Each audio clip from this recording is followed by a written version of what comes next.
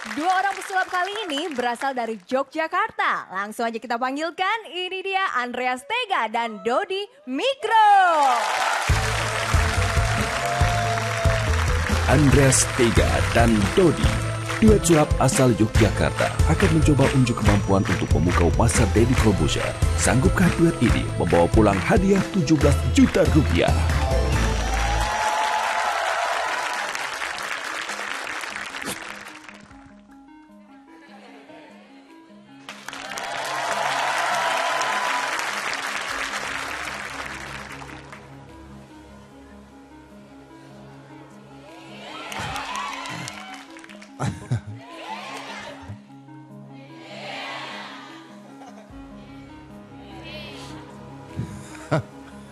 Oke oke, karena ini konsepnya mime, mime, mime, saya kayaknya nggak mau ngomong panjang lebar karena harusnya anda tidak boleh ngomong kalau mime di awal. So, this is yours.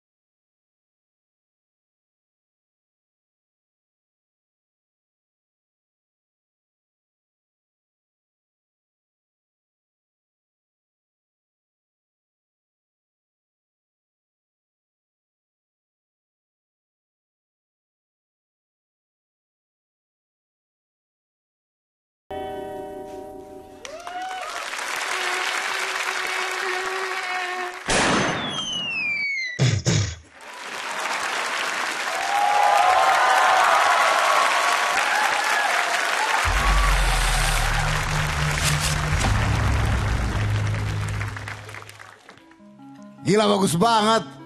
Keren banget kalian, keren banget. Eh, ini Andreas dan Dodi. Andreas, Andreas Tega dan Dodi Mikro. bukan anaknya ini? Bukan. Bukan. Oh, nemu di mana? Eh, kita kebetulan satu sanggar pantomim di Jogja. Satu sanggar pantomim Sanggar di pantomim Jogja. Umur berapa? Miko? Eh, pantomim gak boleh ngomong. Oh my god.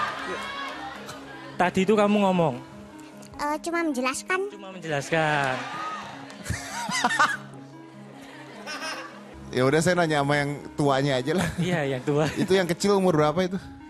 Eh, dia sudah dewasa, awet muda dia. Oh dia udah di- oh ini Daus Mini apa gimana? sih? Bukan ya, bukan ya. Saya eh, kebetulan berteman baik sekali dengan eh, Septian, Septian Dwi Cahyo gitu. Jadi saya tahu sedikit banyak tentang pantomim. Tapi kombinasi kalian berdua sangat sangat sangat menghibur. Makasih banyak. Keren banget. Luar biasa keren banget. Serius saya saya ketika dia keluar tadi ketika main seperti itu kamu keluar uh, the timing and everything uh, music everything is just perfect. It's fluent. It's It's perfect. Keren banget. Keren banget. Saya malah menyarankan kalau bisa nggak usah main sulap, udah beneran pantomim aja. Tadi tuh lucu banget gitu. Saya nggak merasa permainan-permainan kalian bisa nipu saya karena I think is uh, permainannya permainan-permainan sederhana banget yang ya saya tahu lah itu gimana caranya. Tapi saya bahkan udah lupa dengan permainannya, jadi nggak penting permainan kalian sebenarnya. Tapi eh, saya belum pernah ngelihat ada orang main seperti ini. Apalagi berdua dikombinasi dan kalian berdua klop banget, bagus banget. Saya malah penasaran udah berapa lama belajar mime? Oh, ini udah boleh ngomong. Dah. Eh, terima kasih Master Dedi. Saya belajar SM apa pantomim sejak masuk SMK. Sejak masuk SMK.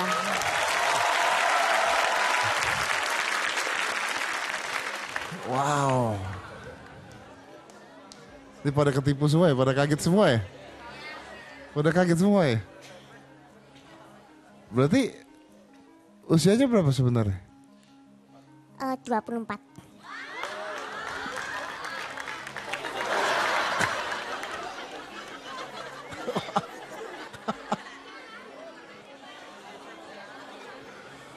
Dua puluh empat tahun. Oke, kenapa belajar pantomim? Karena menurut menurut saya itu eh, pantomim itu sebuah se- kesenian yang menarik dan menghibur. Artinya eh, banyak orang yang mengira, saya nggak tahu kalau make upnya dibuka, tapi kalau kalau make upnya kalau pakai make up seperti ini banyak yang ngira anak-anak artinya. Banyak yang ngira. Banyak apa? Sering sering digendong. Dan anda menikmati pasti ya. Pasrah aja, Master.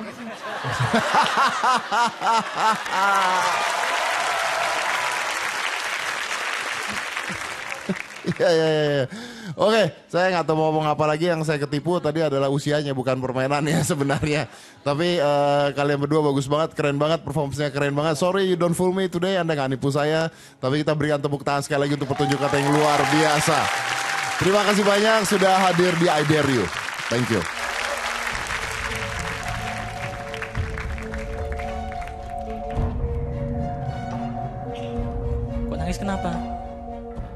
nggak apa-apa kita nanti ke sini lagi. Oh iya. Uh, hari ini kita gagal menipu Master Dedi tapi kita akan kembali lagi. Happy birthday Indonesia. Indonesia 24 Happy birthday Indonesia. Indonesia luar biasa.